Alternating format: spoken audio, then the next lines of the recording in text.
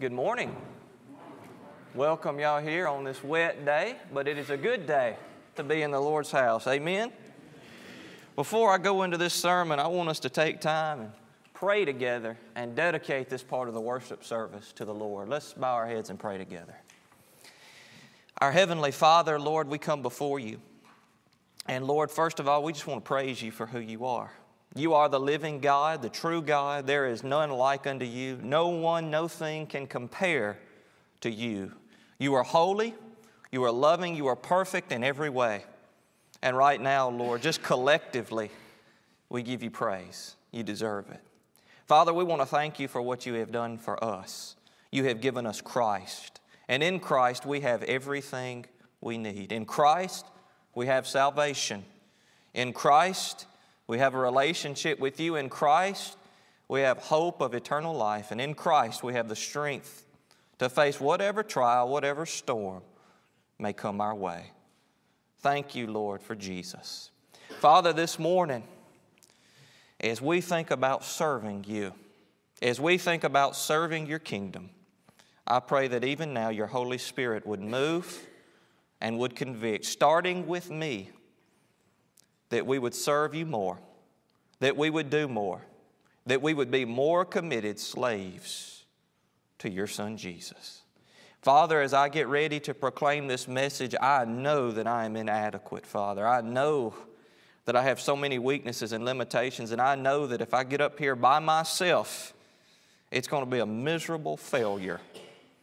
Well, Father, I also know that you have called me. I know that you have filled me with your Holy Spirit because of salvation, because of Jesus. Lord, I pray that your Holy Spirit would anoint me in a special way, would give me utterance, would give me strength, Lord, to proclaim this your word. Father, I pray that as we hear, that you would open us up to hear it, that you would make us sensitive, Lord, convict us, comfort us, encourage us, do whatever is necessary, Lord, to get our attention. Most of all, Father, speak to us. We need a word from you. Now, I ask this in the name of Jesus and for his sake. Amen. Folks today are worried. Did you know that?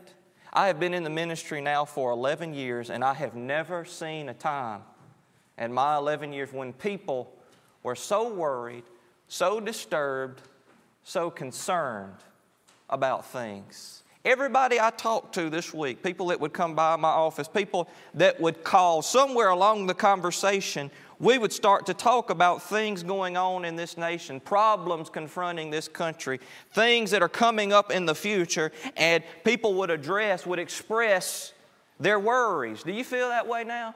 A lot of things going on, a lot of things to be worried about. This week I was reading in Time magazine and they conducted a poll and they asked Americans, asked the citizens, what are you worried about?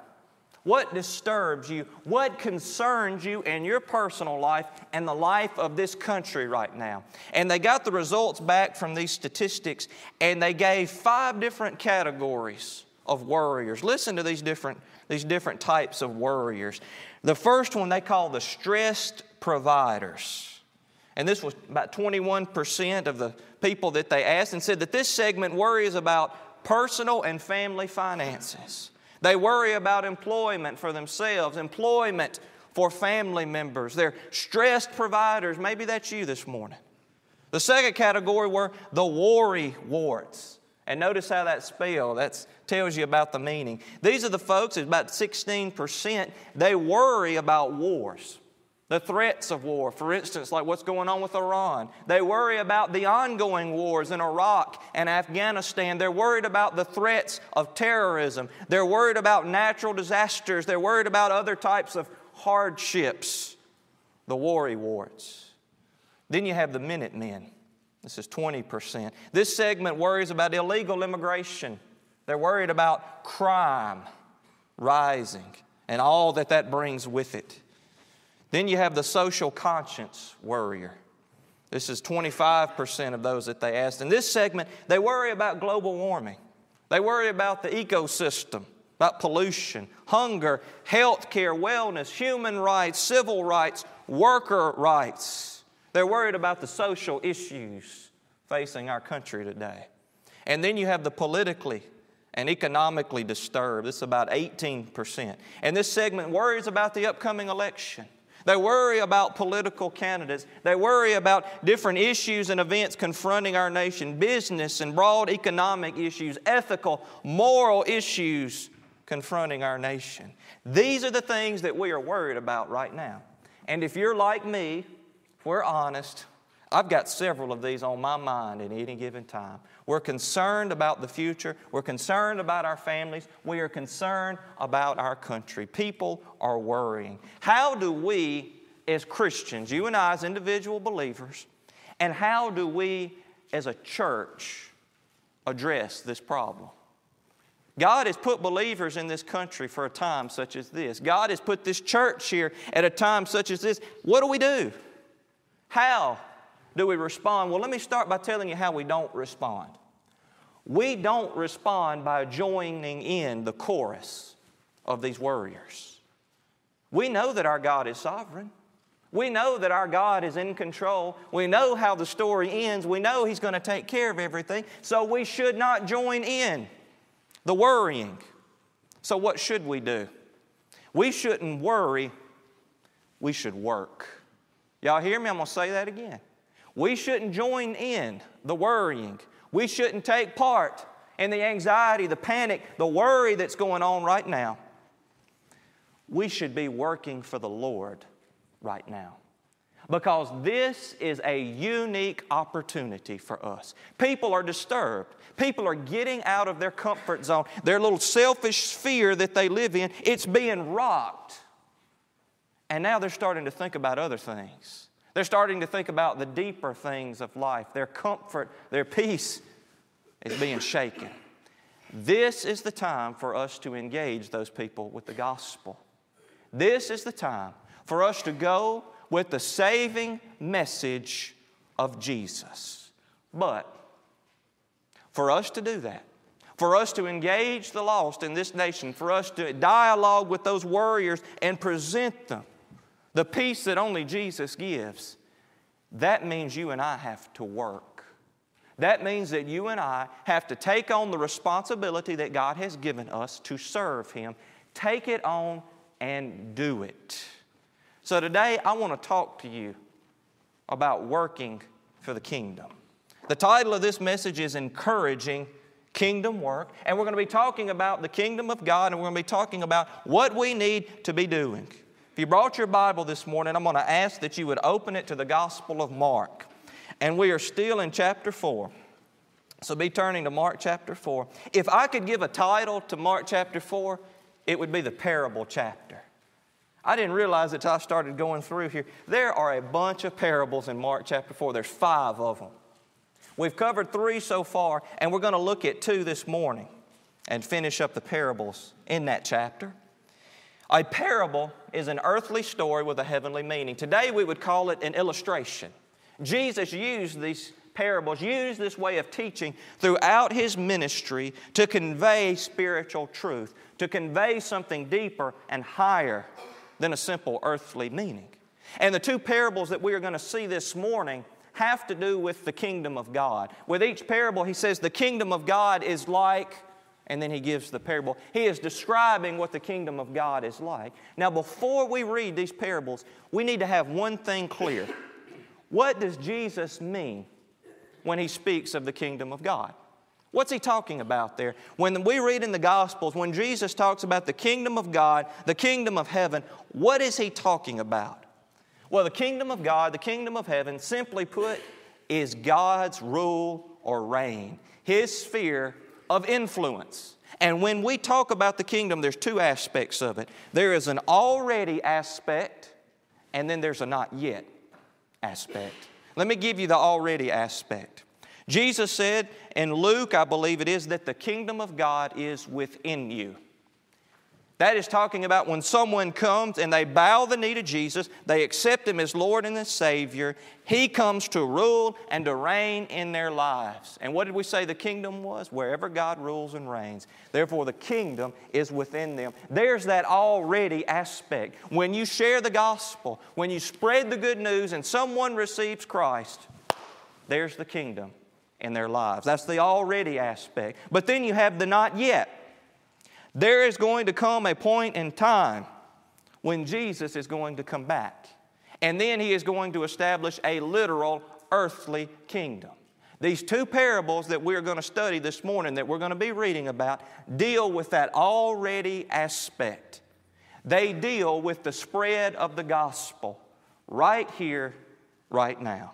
All right, let's look at these two parables now this morning. We're going to be looking first at the parable of the seed and then the parable of the mustard seed. Mark chapter 4, beginning in verse 26, God's word says this And he, that being Jesus, was saying, The kingdom of God is like a man who casts seed upon the soil. And as he goes to bed at night and gets up by day, and the seed sprouts and grows, how?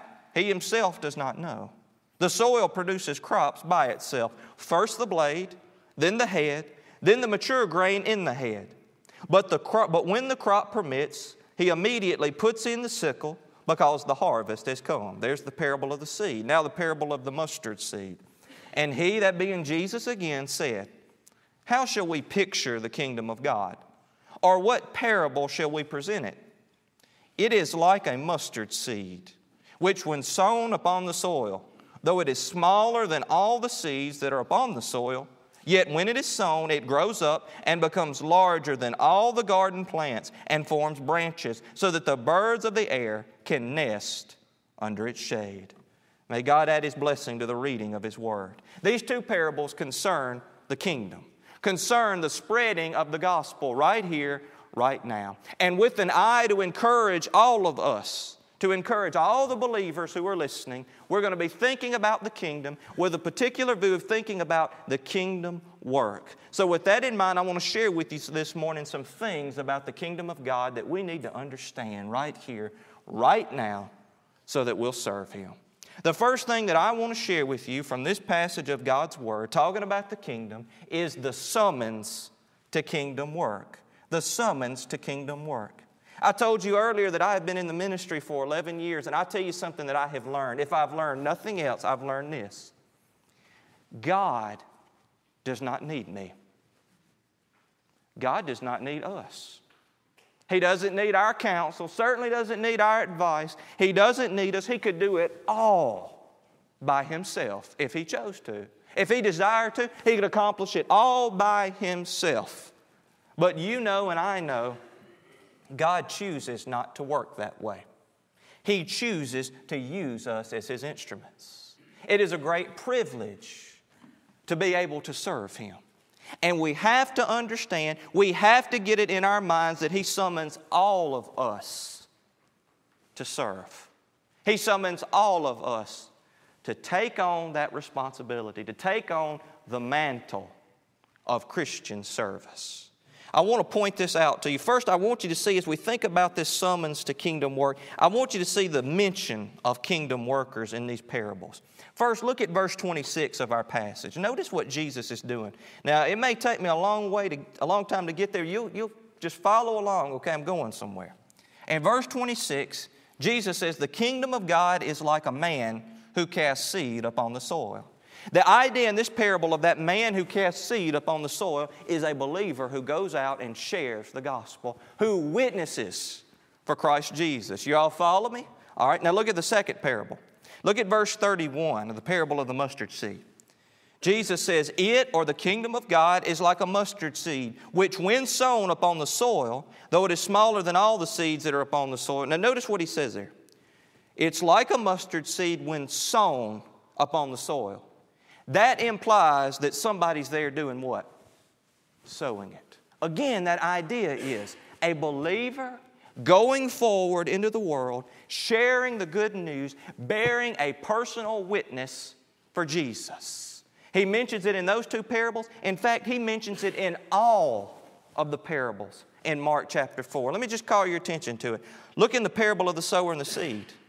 Mark 4, Verse 14. As he describes that parable, he said, The sower sows the word. Again, a believer who goes out and spreads the gospel, a believer who goes out and personally witnesses for Jesus. Then look at the next parable in that chapter. Look at the parable of the lamp there, verse 21. Listen to what he tells believers. A lamp is not brought to be put under a basket, is it? Or under a bed. Is it not brought to be put on the lampstand? The idea is every believer has the light of Christ within them. They have the gospel, and they are to take that light and shine it out into a dark and lost world. Again, the idea is what? Believers sharing the gospel, spreading the good news. Then look at the next parable. I call this one the parable of mete and measure. Look at verse 24. And Jesus was saying unto them, Take care what you listen to. By your standard of measure, it will be measured to you, and more will be given you besides. Jesus says, Be careful with the truth you have because you are responsible for using it. Again, he's emphasizing the exact same thing. Taking what you know to be true, taking that gospel message and sharing it with the lost. What we see in all of these parables is what I call the mention of kingdom workers. Now, what does that mean? What is Jesus talking about here? What's the meaning for the kingdom workers here today? Jesus is mentioning it all these times to emphasize something, a very important point, and that is that every single believer is called to serve. I want you all to say that with me. If you get nothing else this morning, get this. Say it with me. Every single believer is called to serve. It does not matter your age. It does not matter your place or position in life. It does not matter your maturity in Christ, although some positions are for more mature believers than others. It does not matter if you are a Christian, if you have received Christ, if you have accepted the gospel message, then God has a position. God has a place of service for you. And we've got to do it. We must answer the summons. We must be about the business of serving Him. Think of it this way we're going to get ready to vote here in November, aren't we? You're registered to vote. Now, it's a blessing to be able to vote, but what happens when you register to vote? Your name goes on a list of possible jury candidates, right? And from time to time, what happens? You get that summons in the mail. They want you to go and be part of a jury pool to possibly serve in the county or in the region on a jury. Do you ball it up and throw it away and say, uh, I don't think so. I'm busy. I got things to do. You better not. Why? Because you could get a fine. If you keep not showing up, you could be held in contempt and they'll take you to jail. That's just a summons from an earthly judge.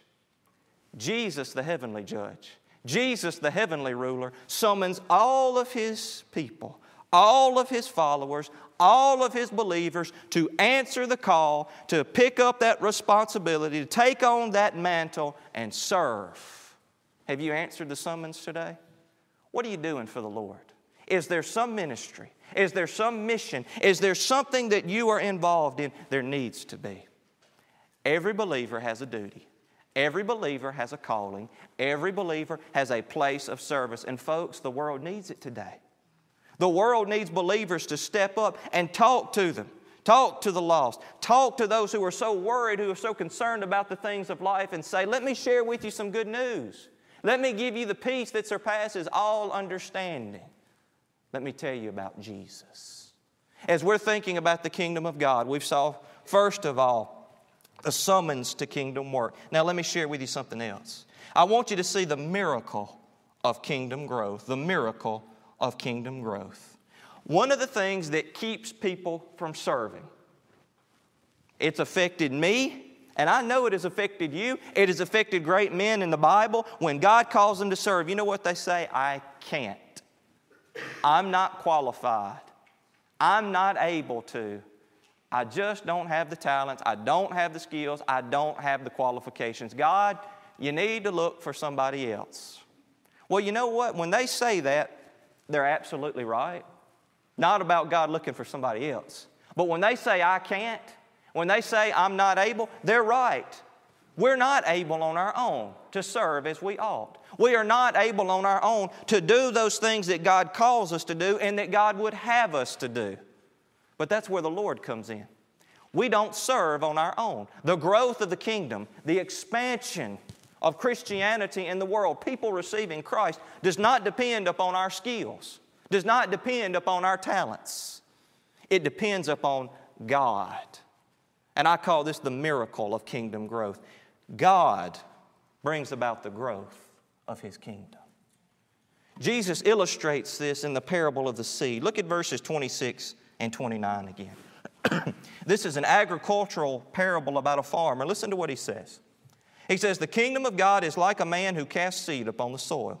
And he goes to bed at night and gets up by day, and the seed sprouts and grows. How? He himself does not know. The soil produces crops by itself first the blade, then the head, then the mature grain in the head. But when the crop permits, he immediately puts in the sickle because the harvest has come. Jesus is comparing the kingdom of God to a farmer that goes out and sows the seed. He said that farmer, he goes out, he's prepared the field, he plants it, but then what does he do? Says he goes to sleep, he gets up, he goes about his daily business, and the seed comes up on its own. The spiritual truth here is that God brings the growth of His kingdom. We as believers, do you know what we are responsible for? We are responsible for sharing Christ. We are responsible for sharing the gospel. God is responsible for the results. He brings about the growth. And in this parable, as we're thinking about that miracle of kingdom growth, I want to point out two things to you. Two things that we see in this parable. First, we see man's passivity. Man's passivity. Again, look at verse 27. That farmer, he casts the seed upon the soil, but then what does he do? He goes to bed. He gets up. He continues on with his daily business of life. All the while, the seed is coming up. That describes us. We go out, we share the gospel, but who is really responsible for the results? God. Who is the one that convicts that person when we share Jesus? God. Who is the one that brings about that radical transformation that Jesus told Nicodemus was called being born again? Who does that? God. Our role is very passive in all of it. All we have to do is go out, share the gospel with others, and God will take care of the rest. Listen to what the apostle Paul said in 1 Corinthians chapter 3 verse 6. He's dealing with this divided church, and there's little cliques within the church, and each one of them are following these, these earthly leaders. And listen to what Paul said. He's trying to take the focus off of him and put it on God. He says, I planted, Apollos watered, but God was causing the growth. All we did, that's what he's telling the church, all we did was plant the seed of the gospel. I planted it, Apollos came along, he taught you more, but who caused that growth? God caused the growth. Now let's step back and I want you to think for a moment. What does this mean for us? From a practical standpoint, the fact that in all this we are, we're passive to a degree, what does that mean for us? It gives us a freedom because the growth of the kingdom does not depend on us. Now, we have to go out and do the work. I've already told you what the work was and what God has called us to do. He's called us to share the gospel, He uses us in that way. But the growth does not hinge on our abilities, on our talents. The growth, people receiving Christ, depends upon God. And you know what that means? That means when we look at situations, when we look at circumstances, we don't base the success, we don't base our possibility of success or failure on us. We base it on God. Think about it like this the men in the church, you'll know especially what I'm talking about. You remember when you were a kid and you helped daddy work on the car? Am I the only one here that did that? When you're a kid, you, there you go. You helped daddy work on the car when you're a little boy. Did you really do that much help? But I didn't. My daddy said, You'll mess it up. You just stand there. you just stand there and you hold the tools, right? You stand there, you got the crescent wrench, you got the socket wrench. If he needs another socket, you go back to the toolbox and you get it out and you bring it to him. Who's doing the actual work? Your dad is. He's actually taking care of business there. That's our involvement.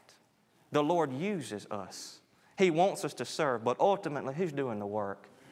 God. That means don't worry about feelings of inferiority. Don't think about what you can or cannot do, because all things are possible with God. We see in this miracle of kingdom growth man's passivity, but notice something else the Almighty's activity. The Almighty's activity. Look at verse 28 of that parable of the seed. Jesus, as he describes it, he says, The soil produces crops by itself.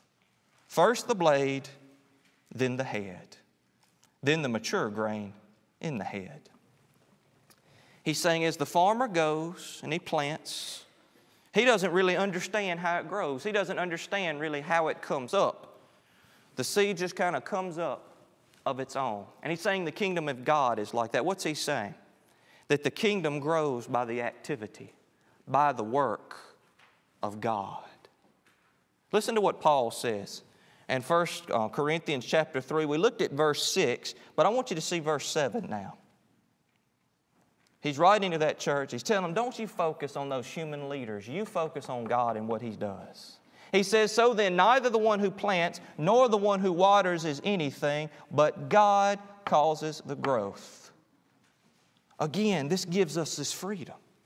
The Lord is active. The Lord is doing things. That means that you and I, we can go with an abandonment. We can go with a freedom. All we have to do is go and share Jesus. All we have to do is go and lift Him up and God will take care of the results. If we believe the gospel is true, if we believe the word is inspired, then it will speak for itself. It will do the work that it needs to do. All we have to do is lift it up. All we have to do is share it, and it'll do what it needs to do.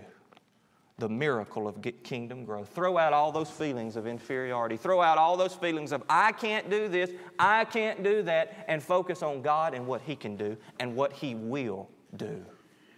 We've seen the summons to kingdom work. We've seen the miracle of kingdom growth. I'll share with you one more thing.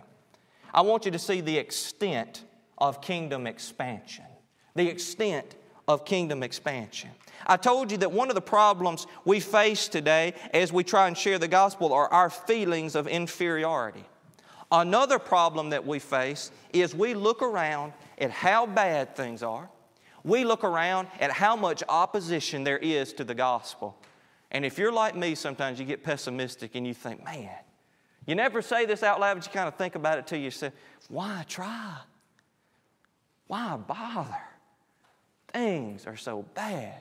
The world is so immoral. Everyone is in such opposition, such rebellion to God. Why should I even try? Is the kingdom even growing? and that's when we need to come back to a truth, a very important truth that Jesus is going to show us here in a moment. God's method of working in this world is to start small, to start with the insignificant, and use it. Make it something big. Use it in a great way for His glory. Let me give you an example of this before I share with you the next parable. In 1857, we think that we're the only people who've been worried about the decline of Christianity, about immorality in our world. In 1857, churches in New York started to worry about a decline in church attendance, a rise in immorality in their city. I wonder what they would think now, right? But they were worried about it. And so one church, they got this guy, his name was Jeremiah Lanphier. He was a retired merchant. He had no theological training. He was not a pastor, not a preacher, anything like that. But some folks prayed and said, We think this guy can do something. So they asked him, We want you to help us reach this city. We want to reach this city for Christ. They contacted one man. You know what he did? The only thing that he could think of to do, the only way that he sensed God's leading, was to just call for a prayer meeting at lunchtime on weekdays. He printed up a bunch of handbills advertising where it would be. He handed them out, and then he just waited. The first day, one other person came. The second day, two people came. Then it started to grow. They started to pray it spread from one room in the church to all of the rooms in the church, to the sanctuary of the church, to other churches throughout the city, and it got to the point where, at the height of the layman's prayer revival of 1857, 50,000 people a day were coming to Christ. See what the Lord does? This is what's so awesome about His character. He'll take something small something insignificant, one man calling for a little prayer meeting. And boom, bringing it into something big to expand his kingdom. That is the way that the Lord works. And Jesus speaks of that in that second parable, the parable of the mustard seed. Look at verses 30 to 32. He tells this last parable in Mark chapter 4, and he says, How shall we picture the kingdom of God? Or what parable, or by what parable shall we present it? It is like a mustard seed when sown upon the soil, though it is smaller than all the seeds that are upon the soil. Yet when it is sown, it grows up and becomes larger than all the garden plants and forms large branches so that the birds of the air can nest under its shade. He uses a proverbial saying, a parable that was very common in his day. He says, God's kingdom is like a mustard seed. And at that time, the mustard seed was the smallest seed in that region of Israel. I was going to get a picture and put it up on the screens for you, but it was so small you couldn't see it. A little bit smaller than a pinhead, no joke. Jesus said, Kingdoms like that. It starts off so small, so minuscule. But when it's planted and it grows, it becomes the largest plant in the garden. The mustard seed that he's talking about, that particular species of plant, when it is mature, it can reach a height of 12 to 15 feet, starting from something smaller than the size of a pinhead, all the way up to something that towers. And Jesus says, the kingdom is like that. The expansion of the Christian faith is like that. It starts so small, but then it expands to something great. We see two things about the extent of the kingdom in this parable. We see its beginning in significance. Its beginning in significance. As I told you in verse 30 and 31, he talks about that mustard seed. So small, starting with such a teeny tiny beginning. He says the kingdom is like that. And think about how Christianity started. Jesus, he stepped down from the realms of glory, he left heaven, and he came to Israel. It's called Palestine back then. It was a backwater of the Roman Empire. It was nowhere Roman Empire. Roman officials, Roman soldiers, they dreaded being sent to Palestine because it would end their career. That's how insignificant it was. While he was on earth, he had a three year ministry. He never left that region, he never went to an earthly center of power. During his ministry, at best, he might have had several thousand followers. On the night of his death, on the night of his betrayal, rather, his crucifixion, he had 11 hardcore followers, 11 leaders. And when he was betrayed, what did they do? They scattered. Yet three centuries later, Christianity had spread throughout all of the Roman Empire. It went to every place in the known world. It had a small, insignificant beginning. And yet it spread, and it is continuing to spread today. Look, a second point that I want you to see from this parable is not only its beginning insignificance, but its ending grander.